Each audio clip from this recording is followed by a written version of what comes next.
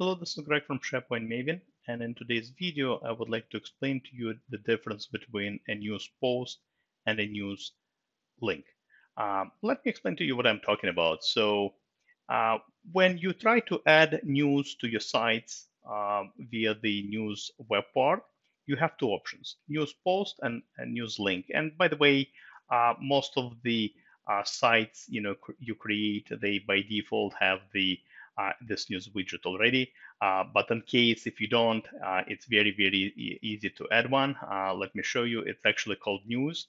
Uh, again, I already have it. I'm just showing you how to add one if you don't have it already. So here it is. I just literally a widget that allows you to publish uh, news and announcements. That, that's all it is. but let me go back to the topic of this particular video. So um, when you do add this widget, this web part to your uh, to your page, your communication site, you know, your team site, uh, you do have two options, news post and news link. So I want to explain to you the difference. And I also want to explain to you what, I, what happens behind the scene, the scenes when you, uh, when you add those. So uh, let me show you. So the news link is for situations when you already have an article maybe somewhere on the web and you want to uh, to pretty much uh, just paste the URL. Um, and um, let me uh, use this as an example. I have my one of my blog posts. All right, it could be pretty much any article from any news source, any website. And you just, all you need to do here is, there is very little work for you. All you need to do here is just paste the URL. And what actually happens, it uh, pretty much grabs the information from that uh, from the existing article, uh, the images, the text, uh, the description, and pretty much pre-populates it for you. You can obviously, you know, tweak it. All right, uh, you can tweak it if you want. You know, modify the text. You know, uh, edit it, delete it. Uh, but pretty much for the most part, it's done for you. The experience is very similar to how you know how when you um, embed an article on Facebook or LinkedIn, it pre-populates uh, it for you with images and you know text from that particular article. Same idea, same idea here. So again, uh, I don't need to make any more modifications. I hit post and my article will be posted, right? Uh, so that's, um, um, that's what happens when you add a news uh, link.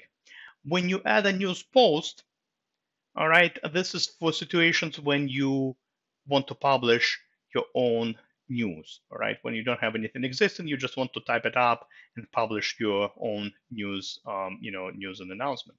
So all you need to do is just, you know, click uh, news post. Uh, behind the scenes, it actually creates the page uh, for that, and um, you just give it a name. And again, you know, um, you know, you can probably add a bunch of text and uh, uh, and images, whatever your announcement is all about. We hit post news, and I, again, our second uh, article has been published right here. They would appear in the reverse chronological order. And now let me show you uh, what happens behind the scenes when you publish your news and announcements. I remember I published a couple of uh, uh, a couple of uh, news posts already.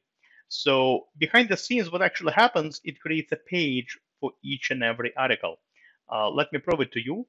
Gear icon, site contents, site pages.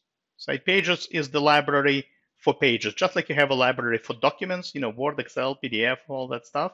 Site pages is the dedicated library for um, site pages. And let's see what's happening here. So here's my home page. That's pretty much my regular, you know, my regular home page right here, okay? And the main, you know, page of the site. And then look at this. I have I have two, um, you know, two uh, news posts that I published. And every time I create a news post, even though I created this one from a link, remember, uh, it creates a page it creates a page, you know, behind the scenes.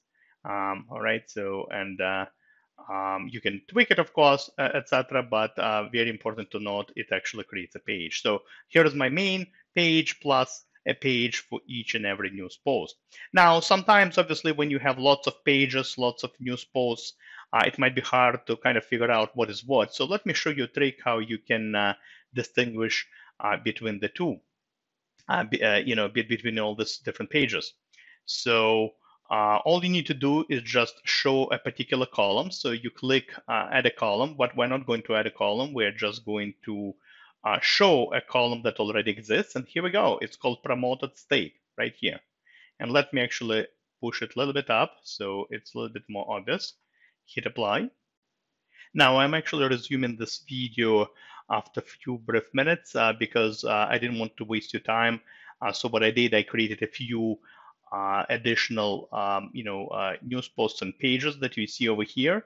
So if you notice, um, we have different codes here, and I want to explain to you what they all mean.